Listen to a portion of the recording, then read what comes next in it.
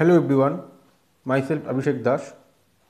I am going to discuss today 8086 microprocessor. It is the first 16-bit microprocessor which was invented in the year of 1978 in the month of April, but officially it was launched in the June. 8086 microprocessor has some features. The main features are it is 16-bit microprocessor. Its clock frequency is 5 MHz. It requires 5 volt power supply. It has 16-bit data bus and 20-bit address, address bus. The 20-bit address bus means it can access up to 1 MB memory location. It is 40 pin IC. It can support up to 64 kilobyte input output port. It has two operating mode. One is the maximum or one is the minimum operating mode.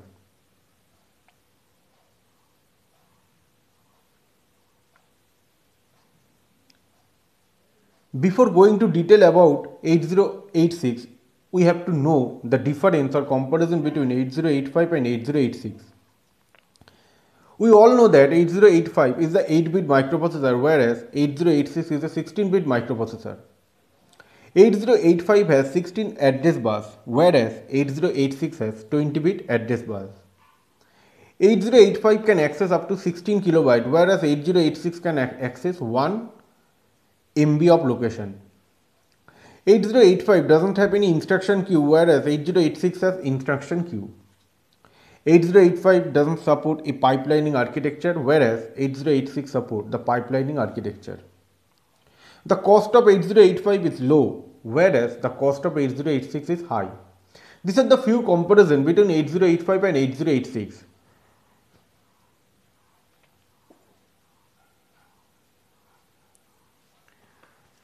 This is the pin diagram of 8086. 8086 and 8085 both are the 40 pin IC but in 8086 we can see in the pin diagram there is two mode of operation. One is the maximum mode and one is the minimum mode.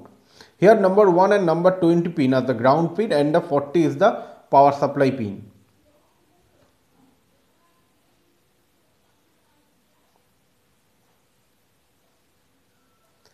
this is the architecture of 8086 in this architecture we can see that it is divided into two parts one is the execution unit and one is the bus interface unit in execution unit, all the register part is there and all the flag register is also there. But in bus interface unit, we can see that segment register and instruction queue.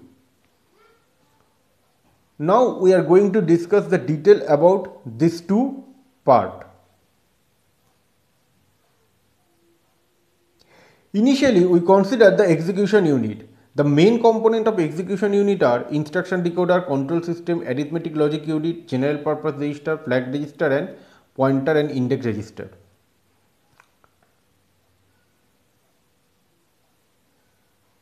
Instruction decoder. It translates instruction fetch from the memory into a series action which execution unit carries out. Control system. It generates timing and control signal to perform the internal operation of the microprocessor. ALU. ALU is present as a arithmetic logic unit. Here all the arithmetical operation is done. Now the important part of the execution unit. This is the general purpose register. 8086 has 8 general purpose register. They are the AX, BX, CX, DX. AX stands for accumulator, B stands for BX stands for base, CX stands for count and DX stands for data. All these registers are 16 bit register but when they are divided into two parts such that H and L, H stands for high, L stands for low, they act as a 8 bit register.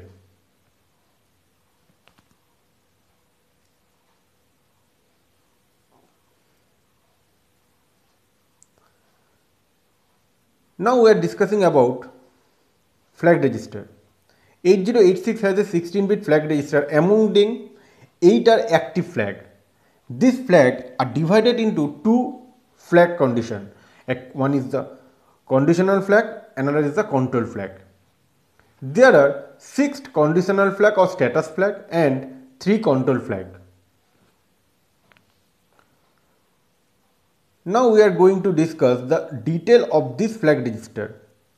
The conditional flag or status flag are six type carry flag, parity flag, auxiliary carry, zero flag, sign flag and overflow flag.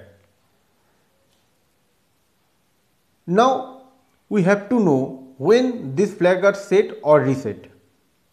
Carry flag. If the operation is contain 8 bit of data then the if the answer is 9 bit then the carry flag is set condition such that if carry occur in an operation then carry flag is set condition or 1 parity flag. If in the result even number of 1 occur then the parity flag is set condition auxiliary carry. If in the operation the carry occur during D3 to D4 bit then auxiliary carry is set condition. 0 flag. If the whole answer is 0 then the 0 flag is set condition. Sign flag. If D7 bit is 1 then the sign flag is 1 or set condition. Finally, overflow flag. It has no significance in unsigned arithmetic operation, but in case of signed arithmetic operation, the overflow flag is set to 1. Now we are going to discuss about control flag. There are three kind of control flag, trap flag, interrupt flag and directional flag. Trap flag. It is used for single step control.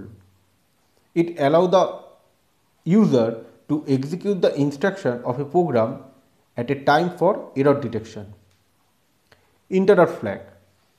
When it is set, interrupt is enabled and when it is 0 interrupt is disable. And finally direction flag. When it is set source index and destination index are automatically decremented to 1 from the highest memory location to the lowest memory location. Now we are going to discuss about bus interface unit. The bus interface unit in bus interface unit, the main component are instruction queue, segment register and instruction pointer.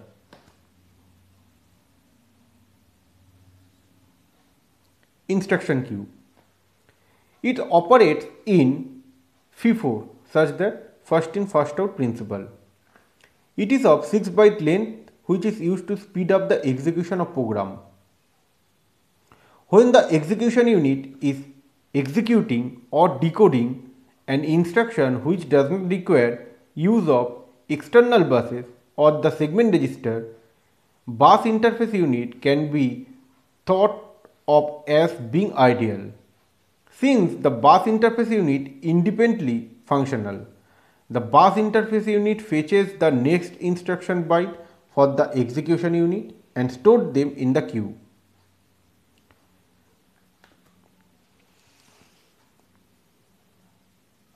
Next one pipelining.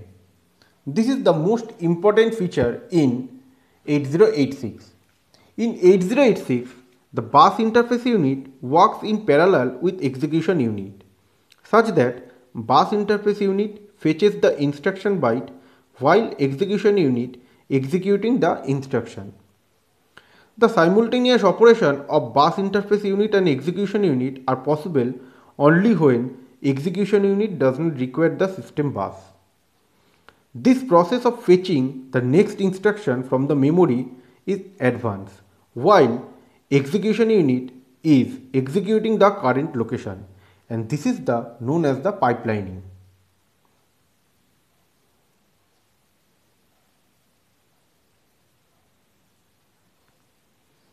Now we are going to discuss about the memory segmentation. There are four memory segmentation and they are code segment, stack segment, data segment and extra segment.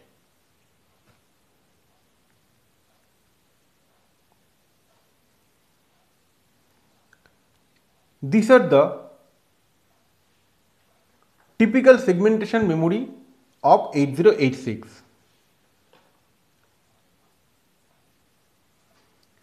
The data segment, the function of data segment is it contains the data for the program. The function of code segment is contain the instruction of the program. The stack segment is whole stack of the program and extra segment it is an additional data segment that is used by some string operation.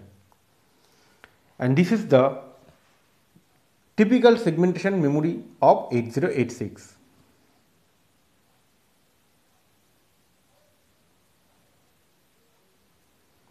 So already I have discussed the function of this different segmentation.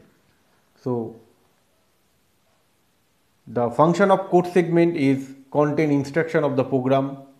The function of stack segment is whole stack of the program.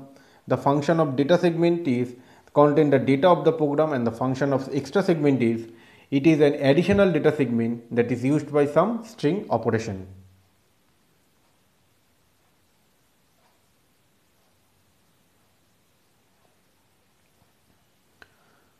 So these are the code segment, data segment and stack segment and extra segment memory space. The whole memory range is 1 MB which is the which is the most important characteristics of 8086 and the memory location starting from 0000000 hex to if if if if if hex.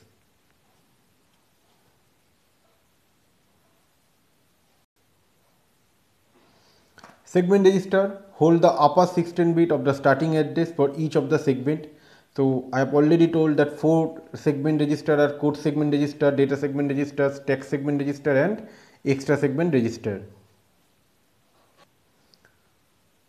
this is the segment register once again.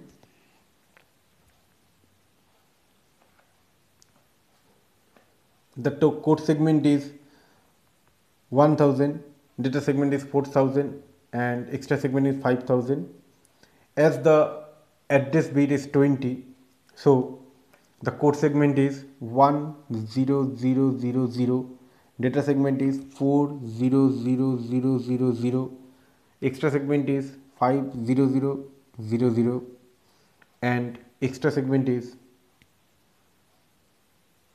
if 0000 hex.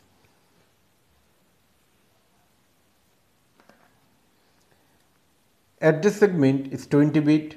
A segment register stored only upper 16 bit. Bus interface unit always insert 0 for the lowest 4 bit of the 20 bit starting address. If CS is 3484A then the code segment will be started at 348 a0 hex. A 16 KB segment can be located anywhere of the memory but will start at an address with 0 in the lowest 4 bit. Now, what is instruction pointer? It holds the address of memory location of the next instruction to be executed. It is 16 bit register. This is the one of the important or one of the example of segment register mathematics where code segment is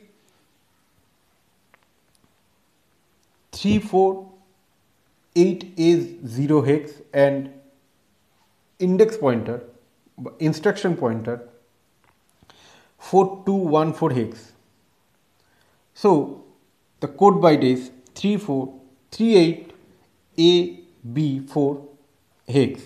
This is the physical address and if the code segment value and instruction pointer value is given then we can easily calculate the physical address and this is the um, one example of how to calculate physical address from the code segment value and the instruction pointer. Stack segment in stack pointer register upper 16 bit of the starting address of stack segment is stored in stack segment register. It is located in bus interface unit. Stack pointer register holds 16 bit of offset from the start of the stack segment to the top of the stack. It is located in execution unit. Before going to other pointer and index register, we have to know the advantage of the memory segmentation. The first advantage is that the only 16-bit register are required to store both segment base address and the offset address. Second advantage is in normal computer system time sharing process is used. There is few disadvantage of memory segmentation. The first one is the hardware is very complex and program are limited to the segment size. Now we are going to discuss other pointer and index register. The other pointer and index register are the first one is a base pointer. It can be used as a pointer to a memory location in the stack. Next one is the source index and the destination index. This is suitable for accessing the element of an array from the memory. Base pointer, source index and destination index can also be used for the temporary storage of data and they are the main use of main use to hold an 16 bit offset of a data word in one of the segment. Now we are going to discuss about the instruction set which is used for the 8086 programming. 8086 supports 6 type of instruction, data transfer inst instruction. The few example of data transfer instruction is move, exchange, push, pop, etc. Arithmetic instruction, the few example of arithmetic instruction is add, ADC, sub, SBB, etc. Logical instruction, the few example of logical instruction are AND, OR, XOR, etc. Number 4. String manipulation instruction moves, compares, LODS. These are the few example of string manipulation instruction. Next one, processor control instruction. The example of CMC, CLD, LOCK, etc. Control transfer instruction. The example are call, jump, etc. Now we are going to discuss addressing mode of 8086. The different way in which a source operand is denoted in an instruction is known as the addressing mode. There are 8 different addressing mode in 8086. The first one is immediate addressing mode. The addressing mode in which the data operand is a part of the instruction itself. Number 2 register addressing mode. Here the register is the source of an operand of an instruction. Number 3 direct addressing mode. The addressing mode in which the effective address of the memory location is written directly in the instruction. Next one register addressing mode. This addressing mode allow data to be addressed at a memory location through an offset address held in any of the following register BX, BX, BP, DI, SI. Next one base addressing mode. In this addressing mode, the offset address of the operand is given by the sum of the content BX or BP register and 8-bit and 16-bit displacement. Number 6. In this addressing mode. In this addressing mode, the operand offset address is found by adding the content of source index or destination index register and 8-bit or 16-bit displacement. Number 7 base index addressing mode. In this addressing mode, the offset address of the operand is computed by summing of the base register to the content of the index register. And last one, base index with displacement mode. In this addressing mode, the operand's offset is computed by adding base register content. Now, the application of 8086. Here we have discussed different modes of operation, different instruction and all other uh, architecture of 8086. Now, we have to know what is the application of 8086. They are used in gaming device, they are used in mobile phone, laptop and some electronics gadget. They're used in traffic control, washing machine, microwave, oven, frequency counter and digital clocks. And they're also used in different platform. Thank you everyone to watch this video. If you have any query, then you can contact with me.